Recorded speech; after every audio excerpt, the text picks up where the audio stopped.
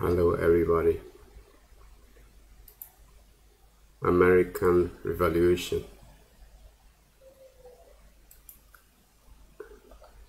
British colony ဘဝကနေပြီးတော့လွန်ခဲ့တဲ့နှစ်200ကျော်ဟာ American တွေလက်ရ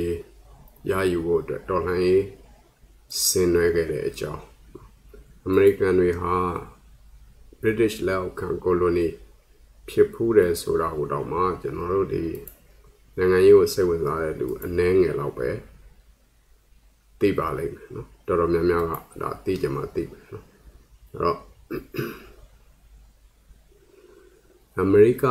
တိုက်ရဲ့အမေရိကန်ပြည်ထောင်စုလက်ရှိရှိနေတဲ့နေရာရဲ့ဒီ East Coast အရှေ့ဘက်ကမ်းเนาะအရှေ့ဘက်ကမ်းကဒီပြည်နယ်73ခု เนาะ73ခုလောက်ဟာ second half of the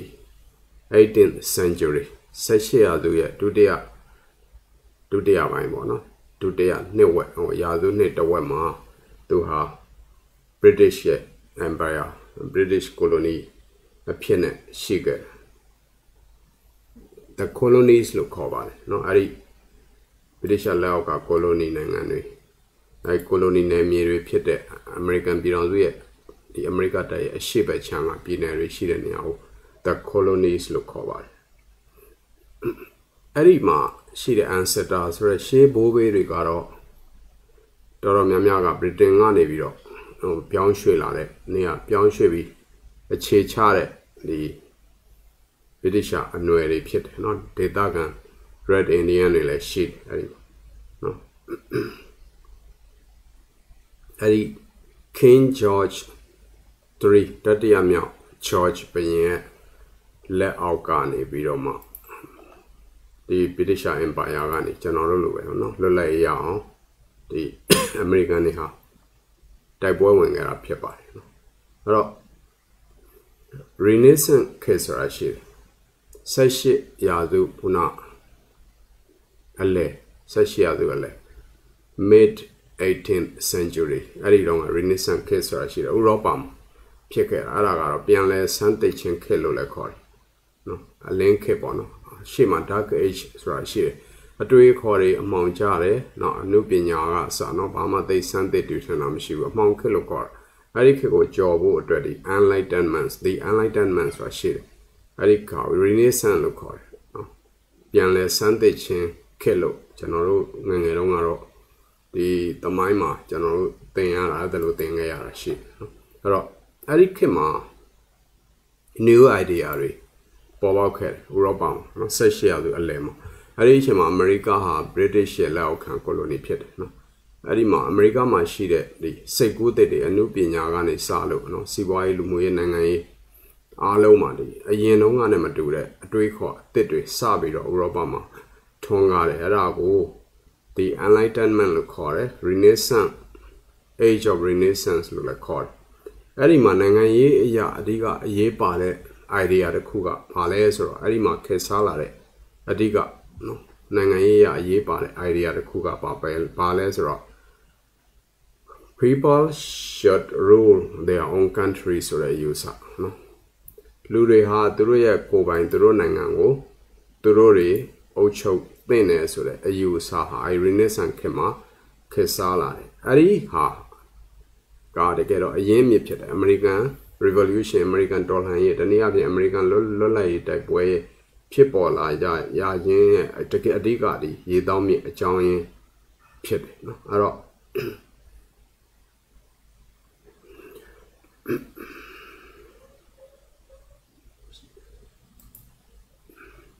ဒီဥစ္စာလေးက ဘာလဲဆို the declaration of independent လို့ခေါ်တယ်ဒါလွတ်လပ်ရေးရပြီးသွားတဲ့အချိန်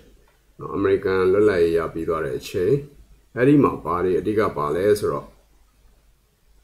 ဒီ all men are equal ဆိုတဲ့ဟာလေးပါတယ်နော်အဓိကအနှစ်သာရအဖြစ်လူတွေအားလုံးဟာအတူတူပဲဆိုတဲ့ဟာ all men are equal နော် all men are created equal လူတွေကိုအားလုံးတန်းတူညီမျှ ဖန်တီးထားတယ်ဆိုတဲ့ဟာပါတယ်နောက်ဒါဒီအဲ့ဒီအယူဆရဲ့တကယ်အနှစ်သာရစပြီးတော့ပါလာတယ်နောက်တစ်ခါ live ဆိုတဲ့ကိစ္စနော် ဘဝဆိုတဲ့ဒီတန်ဖိုးဆိုတဲ့ကိစ္စပါလာတယ်နောက်တစ်ခုက pursuit of happiness ဆိုတဲ့ဟာဒီအနှစ်သာရပိုင်းအရာဒီအဓိကတော့ freedom and liberty เนาะပြီးရင် equality စတဲ့သဘောတရားတွေကိုအခြေခံထားတဲ့ဒီ American လွတ်လပ်ရေးကြေညာစာတမ်း The Declaration of Independence of the United States of America အမေရိကရောက်ရင်တော့ဒီဟာလေးကိုသွားပြီးတော့လေ့လာသင်တဲ့ဟာပေါ့နော်အကြောင်းတရားတစ်ခုပေါ့အဲ့မှာ free speech freedom of freedom of express ဆိုတဲ့ဟာပါမယ်နောက်တစ်ခါ to practice religion freedom of religion ဆိုတာပါမယ်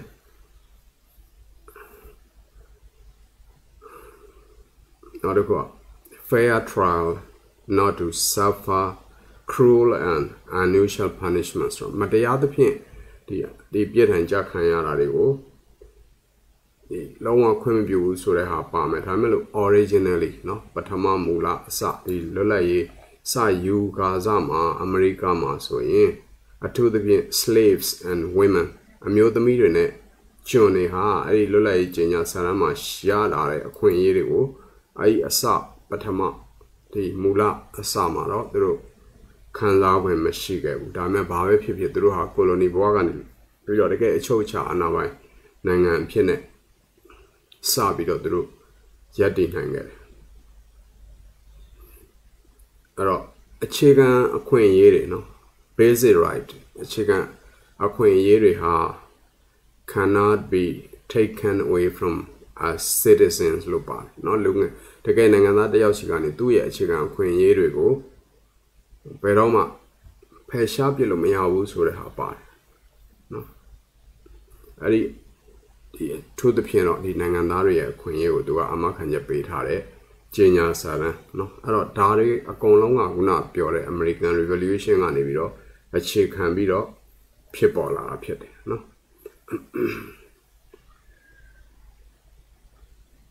တော်လှန်ရေးလုပ်တဲ့အချိန်တုန်းက British အစိုးရရဲ့အဓိက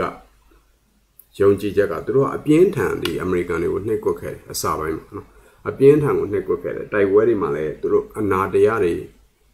ဖြစ်ဖြစ်ခဲ့ပုံဘော့စတွန်တို့ဘာလို့မှဆိုရင်လူတွေကိုသူတို့ဟိုဒီအကြမ်းဖက်နိုင် British British စစ်တပ်တွေကအကြမ်းဖက်နှိမ်နေတာတွေရှိတဲ့နောက်တစ်ခါဒီအခုနပြောတဲ့ Renaissance ခေတ်က ဒီနိုင်ငံတွေဟာသူတို့နိုင်ငံကိုသူတို့လွတ်လပ်လပ်အုပ်ချုပ်တင်တယ်ဆိုတဲ့အယူအဆဟာ American Revolution ကိုလွှမ်းမိုးတယ်ဆိုတာကရေးတော့မြ။နောက်အဲ့ဒီမှာ British government ကအကြီးကျယ်လူတွေတပ်ပြတ်တပ်ဖြတ်ပြီးတော့နှိပ်ကွက်တဲ့ကိစ္စတွေရှိတယ်။နောက်တစ်ခုကတော့အမတန်ထင်ရှားတဲ့ကိစ္စကတော့ဒါလေးကပါလဲဆိုတော့ Boston Tea Party လို့ခေါ်တယ်။ Boston Tea Party လို့ခေါ်တယ်။ Boston မှာဖြစ်ပွားခဲ့တဲ့အမေအမေရိကန်တွေက သူတို့ကိုသူတို့အဲ့ဒီပင်လယ်ဓမြတွေလို့လို့ပါလို့လို့ရုပ်ဖြတ်ပြီးတော့သူကအဲ့ဒီအမေရိကမှာအဲ့ဒီဟို British ကဒီလက်ဖက်6နော်ဒီလက်ဖက်ရတောက်တဲ့လက်ဖက်6သင်္ဘောကြီးတွေအဲ့သင်္ဘောကြီးတွေကိုအတင်းဝင်စီးပြီးတော့အဲ့ဒီလက်ဖက်6တွေကိုပင်လယ်ထဲကိုလွှင့်ပစ်တာနော် Boston Tea Party ဆိုတာအမတမနာမည်ကြီးပါတယ်ဒါဘာကြောင့်ဖြစ်ရတာလဲဆိုတော့ British အစိုးရဟာ East Indian Company ဆိုတာရှိတယ်အဲ့ဒီ company ကို favor ပေးခြင်းတဲ့အခါကျတော့အမေရိကမှာဒီအခွန်အခတွေတက်ပြီးတော့အဲ့ဒီ American တွေဟာဈေးကွက်မှာသူတို့ပြန်ဆိုင်ဖို့တအားခက်ခဲအောင်ဆိုပြီးတော့အဲ့ဒီအရှေ့အိန္ဒိယ company ကိုသူကအခွန်တွေတအား short ချပေးတဲ့အခါမှာဒီလက်ဖက်6လုပ်ငန်းနဲ့ပတ်သက်လို့အမေရိကမှာရှိတဲ့လူတွေတအားကိုအကျလက်ဖက်6ဆိုတာဟိုတုန်းကတအားရှာတယ်လက်ဖက်ရည်ဆိုတာသူတို့ရှိမှဒီဘက်ကနေအာရှဘက်ကနေတည်သွားတဲ့ဟာတွေဖြစ်တယ် အဲ့တော့တအားကိုဈေးကြီးတယ်တထေးတွေကြေးရတဲ့တွေပဲတောင်းနိုင်တယ်လက်ဖက်ရည်ဆိုတာအဲ့တော့လက်ဖက်6ကတော်တော်ကိုဟိုဟိုပတ်စံရတယ်လက်ဖက်6ကုန်ကူးတဲ့ကိစ္စအဲ့ဒီမှာမှအရှိအိန္ဒိယကုမ္ပဏီကိုသူကအခွန်နေဗြိတိရှအစိုးရကသူက short ချပေးလိုက် short ချပေးလိုက်တော့အမေရိကမှာရှိတဲ့ဒီလက်ဖက်လက်ဖက်6လုပ်ငန်းကိုလုပ်ကိုင်တဲ့လူတွေဟာအကြက်တဲတွေ့ပြီးတော့အဲ့မှာ revolution ပုံစံစဖြစ်တာအဲ့လက်ဖက်6တွေကိုပင်လဲတဲ့အကုန်ပြစ်ချ အဲ့ဒါ Boston Tea Party လို့ခေါ်တယ်အဲ့ဒီဟာကခုနတော့ကတော်လှန်ရေးအမေရိကန်တော်လှန်ရေးဖြစ်ဖို့အတွက်နောက်ထပ်အကြောင်းရင်းတစ်ခုဖြစ်ခဲ့နော်အဲ့တော့တော်လှန်ရေးဖြစ်ပြီးဟေးဆိုရင် British တွေက George တတိယမြောက် George ဘယင်ကသူနိုင်လိမ့်မယ်လို့ပဲယူဆတယ်အဲ့ဒါဘာကြောင့်လဲဆိုတော့သူတို့မှာ professional army ရှိတယ်ပြီးရင်သူတို့မှာ navy ရှိတယ်ရေတပ်ရှိတယ်နော် သူတို့ရှိကဗြိတိရှမှာရှိတဲ့စက်ရုံတွေကနေပြီးတော့စစ်လက်နဲ့အသုံးဆောင်ပစ္စည်းတွေကိုလိုတလောက်သူကထုတ်ထုတ်လုပ်ပေးနိုင်တယ်။နောက်ပြီးတော့အဲ့ဒီတက်သွားပြီးတော့အမေရိကန်တွေကဒေါ်လာရင်အဲ့ဒါကိုသွားပြီးတော့နှိပ်ကိုဖို့နှိမ်နှင်းဖို့အတွက်သူတို့မှာငွေကြေးလည်းအလုံလောက်ရှိတယ်။အဲ့ဒီတက်တွေကိုသူတို့ထောက်ပံ့မှုငွေကြေးရှိတယ်။နောက်တစ်ခါသူတို့မှာဆုံးဖြတ်ချက်ကောင်းကောင်း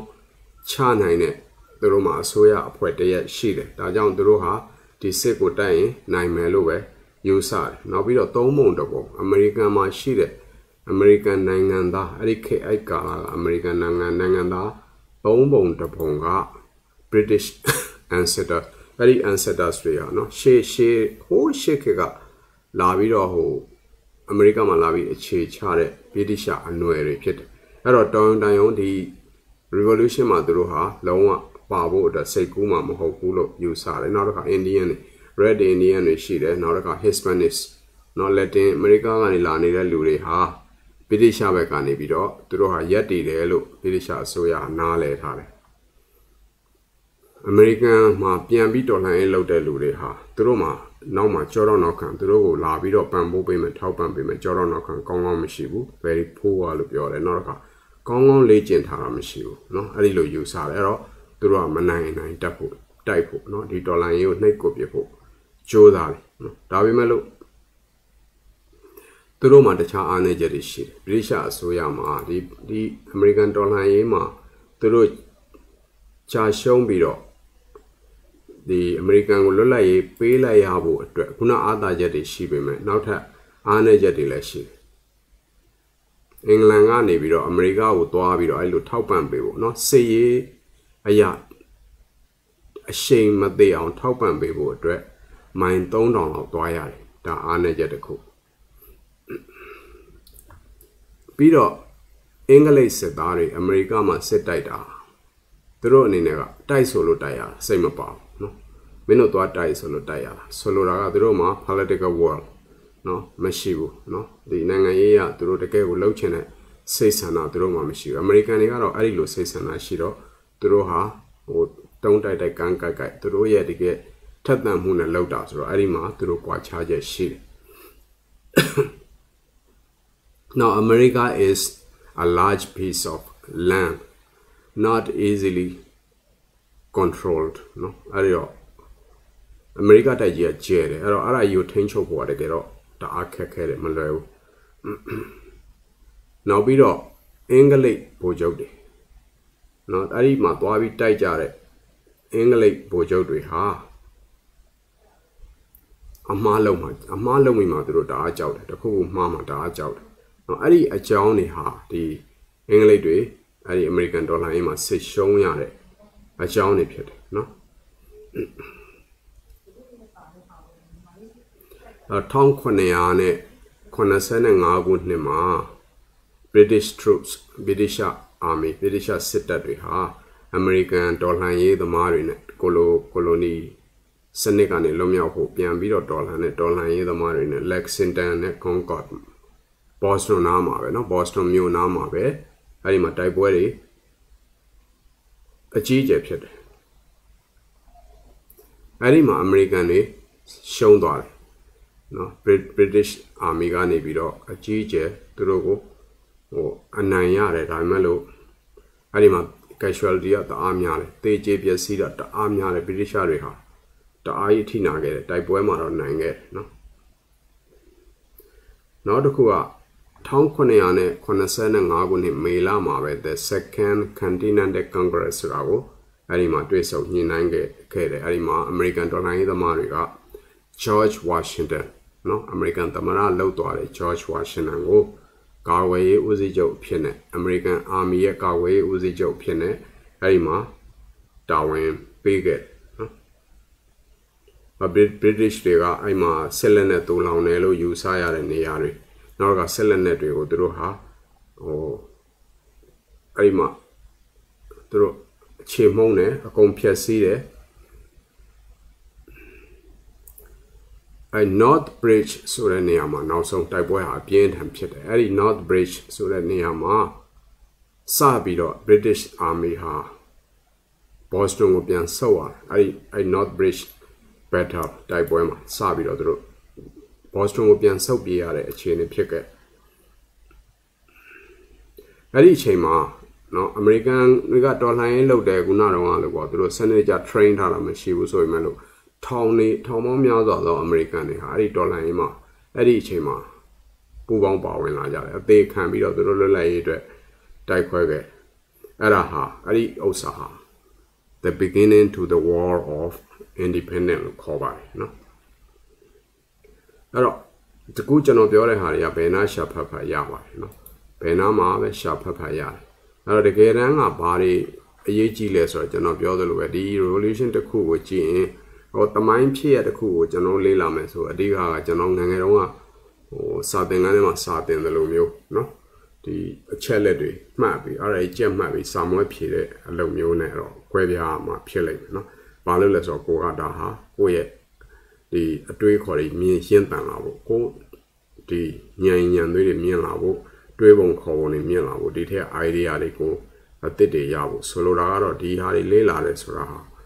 ကိုတကယ်လို့နိုင်ငံရေးလုပ်မယ်ဆိုရင်နော်ဒီဥစ္စာတွေကိုချိပြီးတော့ကိုကကိုလက်ထက်ကြရင်သူတို့လိုအမားတွေမမှားအောင်သင်ခန်းစာယူဖို့နောက်ကအဲ့ဒါတွေကိုအခြေခံပြီးတော့ကောင်းမွန်တဲ့ခုနပြောတဲ့တကယ်ကိုလူဖွဲ့စည်းကိုအကျိုးပြုနိုင်တဲ့ idea အသစ်တွေကိုကစမ်းသစ်တီထွင်တွေးခေါ်ညွှန်မြင်နိုင်ဖို့လက်တွေမှာအလုပ်ဖြစ်အောင်လုပ်နိုင်ဖို့နောက်တစ်ခါအမားတွေသူတို့မှားပြီးသားအမားတွေကိုကထပ်မမှားဘူးเนาะအဲ့ဒါတွေကပိုအရေးကြီးတယ်အဲ့တော့ American Revolution ကနေပြီးတော့ဘာတွေရတယ်လဲပေါ့နော်။ပမိုင်းဆရာကြီးပြောတာကတော့ American Revolution ဟာနော်တကယ်လက်တွေ့မှာအဲ့ဒီ American Dollar Dollar ရေးကနေပြီးတော့ကမ္ဘာမှာတကယ်ကိုအင်အားအကြီးဆုံး super power ဖြစ်တဲ့နိုင်ငံတစ်ခုကိုမွေးဖွားပေးခဲ့တယ်နော်။ဒါဟာညင်းလို့မရတဲ့အချက်။ American တွေဟာအဲ့ဒီ တော်လှန်ရေးတရားကိုဆင်နွှဲတယ်ဆင်နွှဲပြီးသွားတဲ့အခါမှာအမေရိကဆိုတာပေါ်လာတယ် the United States of America ဆိုတာပေါ်လာတယ်သူတို့တွေစူးစမ်းကြတယ်သူတို့နိုင်ငံရဲ့ဒီ principle တွေကိုသူတို့ထိန်းသိမ်းတယ်စောင့်ရှောက်တယ်သူတို့မှဒီကပြည်တွင်းဆက်လက်ဖြစ်သေးတယ် American Civil War ဆိုတာလည်းကျွန်တော်တို့တတ်တတ်လေးလာမယ်ကိစ္စ Civil War တိတ်အရေးပါပါတယ်เนาะနောက်ထပ်ကြရင်ကျွန်တော်အလင်းသိတဲ့အခါကျရင်အဲ့ဒါလေးကိုဆွေးနွေးပါမယ်เนาะစိတ်ဝင်စားဖို့လည်းဒါအကောင်းပါတယ်เนาะ Lincoln ဆိုတဲ့ရုပ်ရှင်ကားရှိပါတယ်เนาะ American သမ္မတ Abraham Lincoln အကြောင်းကိုရိုက်ထားတာအဲဒီရုပ်ရှင်ကားကိုကြည့်လိုက်ရင် American Civil War ကိုကောင်းကောင်းနားလည်ပါတယ်เนาะအဲဒီရုပ်ရှင်ကားလေးကိုရှာကြည့်ပါเนาะ Civil War ကိုကောင်းကောင်းနားလည်တယ် American ဒီကနေ့ဖြစ်လာတာဒီကနေ့ဒီအခြေအနေထိရက်တည်လာတဲ့ဟာဟာအဲ့ဒီသမ္မတ Lincoln ရဲ့ vision courage เนาะသူရဲ့ရစွမ်းတတ္တိနဲ့အသိဉာဏ်ပညာအမျှော်အမြင်ပြည့်စုံလို့ဒီနှစ်ခုကြောင့်ဖြစ်လာတာဒီနေ့ American ဖြစ်လာ ဘလို့မှညင်းလို့မရအောင်သူဟာအဲ့ဒီဉာဏ်ပညာအမျှော်အမြင်နဲ့ပြည့်စုံလုံးလို့ရဲစွမ်းတတ္တိရှည်လွန်းလို့နော်နောက်ဆုံးမှသူဟာလောက်ကျန်တစ်ဖြတ်ခံရတယ်နော်သူဘဝကသူပေးဆက်လိုက်ရတယ်ဒါမဲ့အမေရိကဒီကနေ့ဒီအချိန်တွေကိုရောက်လာတယ်နော်တိတ်ပြီးတော့ကျွန်တော်တို့နိုင်ငံရေးကိုစိတ်ဝင်စားတယ်ဒါတွေကလေးလာမယ်ဟာနော်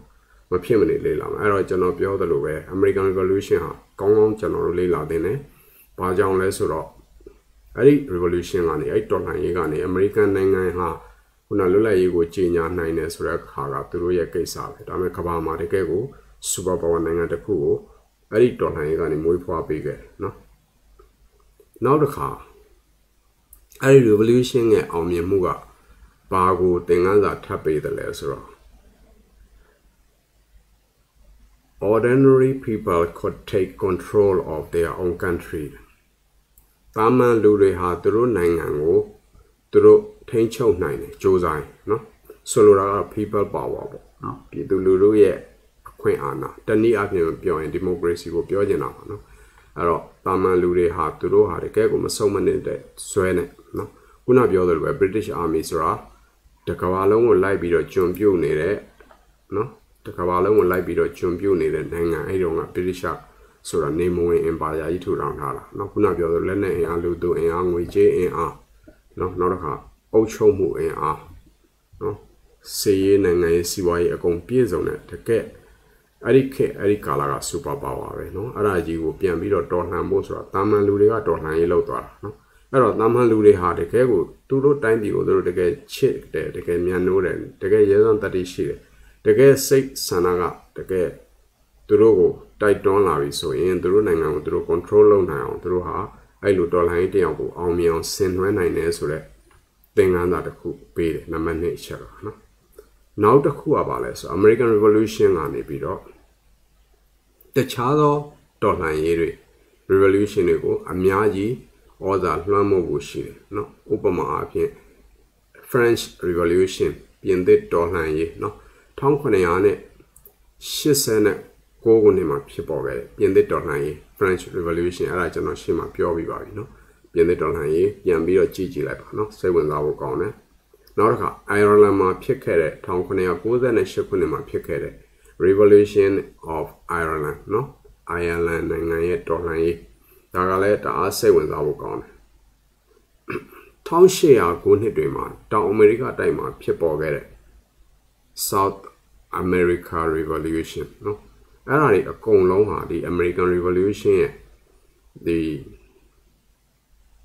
လွှမ်းမိုးမှုရှိတယ်ဩဇာတက်ရောက်မှုရှိတယ်နော်အဲ့တော့သူ့ရဲ့ဟိုအဲ့တမိုင်းမှာအရေးပါမှုကိုဒီလောက်ဆိုရင်အများကြီးမှန်းဆလို့ရပါတယ်အဲ့တော့ American တွေဘယ်နေ့မှလွတ်လပ်ရေးရလဲဆိုတော့ကျွန်တော်တို့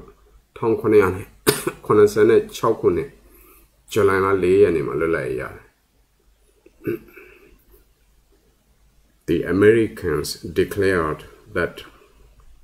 the United States United States of America was free and independent of Britain.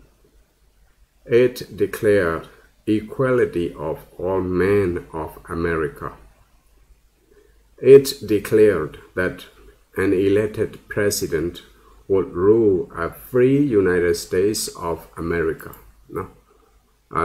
American လွတ်လပ်ရေးကြေညာစာတမ်းဟာ86 1986ခုနှစ်ဇူလိုင်လ 4ရက်နေ့မှာပေါ်ပေါက်ခဲ့တာဖြစ်ပါတယ်နော်အဲ့တော့သမိုင်းဆိုင်ရာအချက်လက်တွေကအခုလိုပဲအခုခေတ်မှာလည်းလက်ညှိုးလေးနဲ့ထောက်လိုက်တာနဲ့ဖတ်လို့ရပါတယ်နော် idea တွေကတော့ကိုယ်နဲ့ပဲဆိုင်တယ်ကိုယ့်ရဲ့ဉာဏ်ဉာဏ်သွေးနဲ့ကိုယ်တွေးခေါ်မြောင်မြင်နိုင်စွမ်းနဲ့ဆိုင်ပါတယ်เนาะကျွန်တော်တို့တကယ်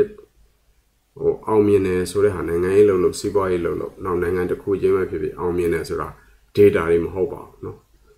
ကိန်းကနန်းအချက်လက်တွေတမိုင်းဆိုင်ရာဖြစ်ရက်တွေနောက်ဘယ်နှခုနှစ်ဆိုတဲ့ကိစ္စတွေအဲ့ဒါတွေတဲ့အရေးကြီးတဲ့ idea တွေ concept တွေဖြစ်တယ်เนาะအဲ့ဒါတွေကိုပို့ပြီးတော့အားထားဖို့လိုပါတယ်အဲ့တော့ American တွေဟာ1986ဆိုတော့တွေ့ကြည့်ပေါ့เนาะသူတို့ရဲ့လွတ်လပ်ရေးသက်တမ်းအခုရဆိုအခုဆိုလူကြီးကတန်း300ကျော်နေပြီเนาะအဲ့တော့ American တွေဟာတကယ့်ကိုတစ်ချိန်လို့ဖွံ့ဖြိုးတိုးတက်နေတယ်เนาะနောက်ထပ်လည်းဖွံ့ဖြိုးတိုးတက်အောင်ပါပဲတရုတ်ပြည်ဘလောက်ပဲသူတို့ဒီတန ဥစ္စာအရကျွယ်ဝချမ်းသာလာတဲ့ဆိုပေမဲ့ဘက်ဆုံးပေါ့နော်ပညာရေးတို့ကျွန်တော်တို့ဤပညာတို့စစ်ရေးတို့နော်စသဖြင့်နောက်ကလူနေမှုအဆင့်တန်းဒါကတော့လူအဖွဲ့အစည်းတစ်ခုနိုင်ငံတစ်ခုမှာအရေးကြီးဆုံး living standard နော်လူနေမှုအဆင့်တန်းဆိုတာကျွန်တော်တို့တိုက်စောင့်နိုင်တာကားစီးနိုင်တာကိုပဲကျွန်တော်ပြောတာမဟုတ်ဘူးနော်သူတို့တွေဟာခုနကတော့ကိုကျင်တရားနဲ့ဆိုင်တဲ့ value တွေဘယ်လောက်ရှိသလဲနော်သူတို့တွေရဲ့တန်ဖိုးတွေကဘယ်လောက်အဆင့်မြင့်သလဲ နော် corruption ဟာဘယ်လောက်ကင်းတယ်လဲနော်နောက်ပြီးတော့သူတို့ပညာတွေဘယ်လောက်တက်တယ်လဲပညာရေးအဆင့်တန်းဘယ်လောက်မြင့်တယ်လဲလူအဖွဲ့အစည်းဘယ်လောက်တန်ဖိုးထားကြတယ်လဲနော်နောက်သူတို့တွေဘာကိုတန်ဖိုးထားတယ်လဲဂုံသိက္ခာဆိုတာကိုဘာနဲ့တိုင်းတယ်လဲဆိုတဲ့ဟာတွေပါပါတယ်နော် living standard အဲ့ living standard တို့ဘာလို့ဆိုတဲ့ကိစ္စတို့နောက်တော့စေရေးတို့နေပညာတို့နော်နောက်တော်တော်များများကတော့အမေရိကကိုကျွန်တော်တို့တရုတ်လည်းမိဖို့မလွယ်သေးသလိုတခြားဘယ်နိုင်ငံမှလည်းသိတော့ သူ့ကိုမိဖို့မလွယ်ဘူးနော်ဂျာမနီတို့ဘာလို့တိုးတက်တာကတမျိုးစက်မှုတစ်ခုမှာသူကခြုံပြီးတော့တိုးတက်တာနော်အဲ့တော့ပညာရေးဆိုလဲကမ္ဘာအကောင်းဆုံးဆိုတော့ Cornell တို့ Harvard တို့တက္ကသိုလ်ကြီးရှိတယ်နော်ဟို Beijing University ဆိုတာအခုကမ္ဘာအဆင့်မီဖြစ်လာတယ်ဆိုမှတကယ်တမ်း Harvard ကိုမိဖို့မလွယ်သေးဘူးနော်အဲ့လိုတော့ရှိတယ်ဒါပါလဲဆိုတော့တကယ်လွတ်လပ်ခွင့်နဲ့ဒန်းတို့ညီမျှခြင်းဆိုတာကိုအခြေခံထားလို့ဖြစ်ပါတယ်ပုံမှန်လင်းပြောရင်တော့သူတို့ရဲ့ principle တွေဒါအကောင်းတယ်နော် လူတွေဟာလုံးဝလွတ်လပ်တယ်သူတို့စိတ်ကောရုပ်ကောလွတ်လပ်တယ်အဲ့တော့ဘာဖြစ်လဲဆိုတော့တစ်ဖက်မှာအဲ့ဒါကိုပညာရေးကလည်းပညာရေးကလည်းအဲ့လွတ်လပ်တဲ့အပေါ်မှာပြန်ပြီးတော့သူတို့တွေတော်လောင်ထက်လောင်ပံ့ပိုးပေးတယ်လို့တစ်ဖက်မှာ institution တွေနဲ့ law and order နော် institution တွေတရားဥပဒေစိုးမိုးရေးကလည်းတစ်ဖက်မှာလုံခြုံရေးတည်ငြိမ်ရေးနော်အေဂျင့်ရေးဆိုတာတွေကိုပြန်ပြီးတော့ကောင်းကောင်းထိန်းကုပ်ပေးထားတယ်နောက်တစ်ခါဒီခုနပြောသလိုပေါ့ဒီအုတ်ချွေရေးပေါ့အုတ်ချွေရေးနဲ့တရား ဥပဒေပြုရေးဆိုတဲ့ကိစ္စတွေနဲ့ပတ်သက်ရင်တိတ်ပြီးတော့သူတို့ဟာခိုင်ပါတယ်ဒါတော့အခုပြဿနာတက်နေသိတဲ့အတိုင်းပဲเนาะပြဿနာတက်အလူနဲ့ပတ်သက်တဲ့ပြဿနာပေါ့နော်ဒီမှာကျွန်တော်တို့အခုဒီကနေ့ဖြစ်ပျက်သွားတဲ့ကိစ္စပေါ့ဒီကနေ့မှာအခုကျွန်တော်တို့ president elect Joe Biden Joe Biden ကိုဒီနေ့ကကွန်ဂရက်မှာသူ့ကိုလုံးဝအတိအမှတ်ပြုဖို့သူ့ရဲ့ဒီရွေးကောက်ပွဲရလဒ်ကိုအတိအမှတ်ပြုပြီးအမေရိကန်သမ္မတအဖြစ်နဲ့သူ့ကိုချေညာဖို့မဲခွဲဖို့ရှိတယ်။ အဲ့ဒီအချိန်မှာတိုင်မင်ဂိုက်ပဲ Trump ကိုထောက်ခံတဲ့လူတွေဟာ Capitol Hill เนาะဒီ Capitol Hill တွေကိုသူကအတင်းအတင်းစီးပြီးတော့ဝင်ချလာတယ်။တိုင်မင်ဂိုက်ပဲဒါဟာရှေ့မှာ Donald Trump ကသူကသူလုံးဝအရှုံးကိုလက်မခံနိုင်ဘူးအဲ့တော့သူကအဲ့မှာတအားကြီးကိုသူကဟိုနီးမျိုးစုံကြံတယ်နောက်ဆုံးမှာအဲ့လို election result ကိုပြောင်းပြန်လုပ်ပေးဖို့ဆိုပြီးဖုံးဆက်တဲ့ဟာပြီးခဲ့တဲ့မနေ့ကတရက်နှစ်ရက်လောက်က နော်အဲ့ဒီဥစ္စာတွေကအပြင်ကိုတရင်ပေါက်ကြားမှုတွေပါလေဒီဖြစ်လာတယ်နော်သူ့ပါတီကတော့မှသူ့ကိုဟိုတအားရှုံချတယ်နောက်တစ်ခါတိုင်းပြည်ရဲ့ဒီဂုံတိတ်ခါပေါ့နော်ဒီမိုကရေစီစနစ်ရဲ့ဂုံတိတ်ခါကိုတော့မှ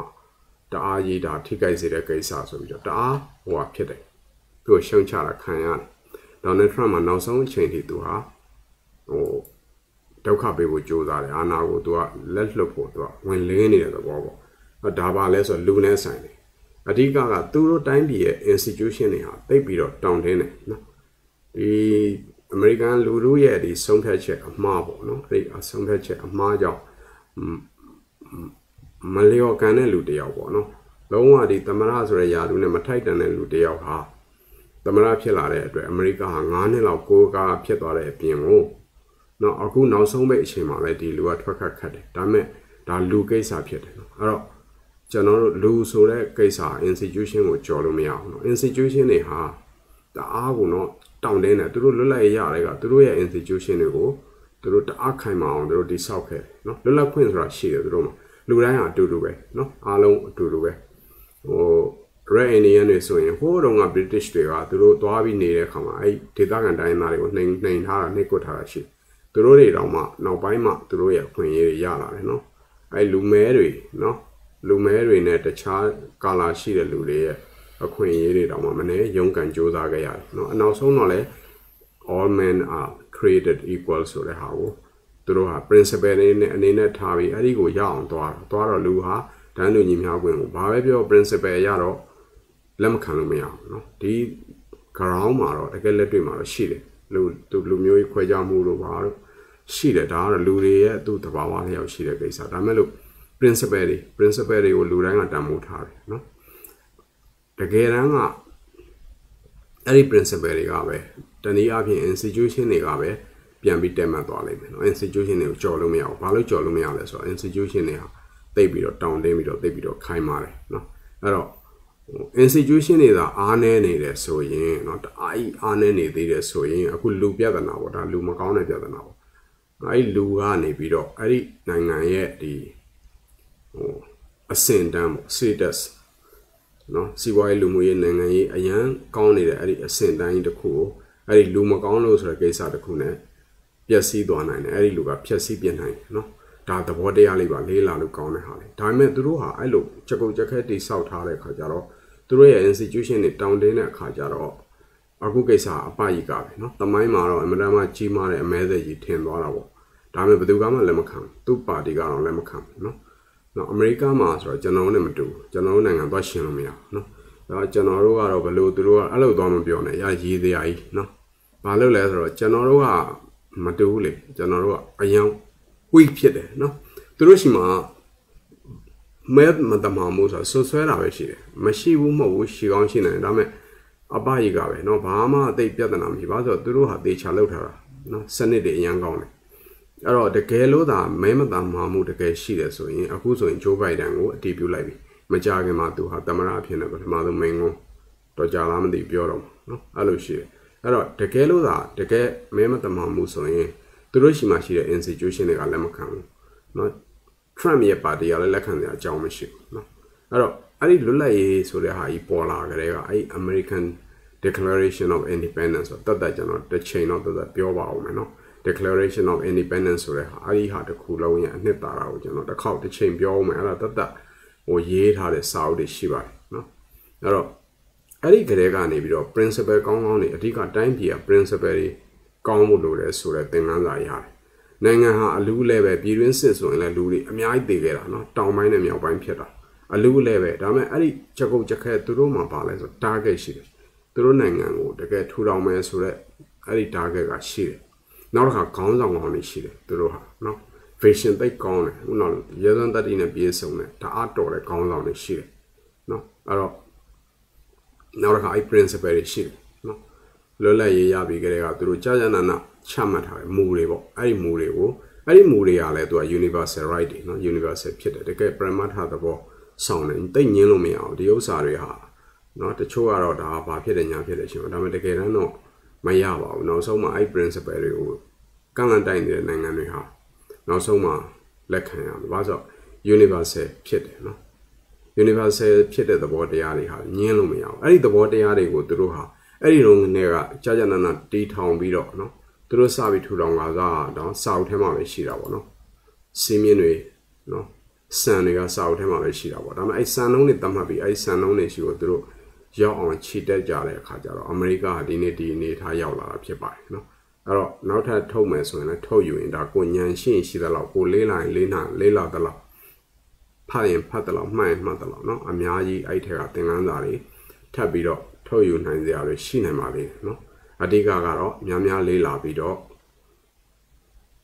အရင်တွေးနေကြတဲ့ပို့ပြီးတော့တွေးခေါ်မျှော်မြင်နိုင်မှုဖြစ်ပါတယ်အဲ့လိုလူတိုင်းလုံနိုင်ရင်ကျွန်တော်တို့တိုင်းပြည်ကလည်းကြီးပွားသွားမှာပဲနော် မတွေးနိုင်ဘူးဆိုရင်တော့မတွေးခေါ်နိုင်ဘူးဆိုရင်တော့အမျှော်မြင်နေတဲ့ဆိုရင်တော့အဲ့တိုင်းပြည်ဘယ်တော့မှခေါင်းဆောင်ကောင်းတွေလည်းပေါ်လာမှာမဟုတ်တယ်လို့ကြီးပွားချမ်းသာဖို့ဆိုတာလည်းမျှော်လို့မရပါဘူးเนาะကျေးဇူးများတင်ပါတယ်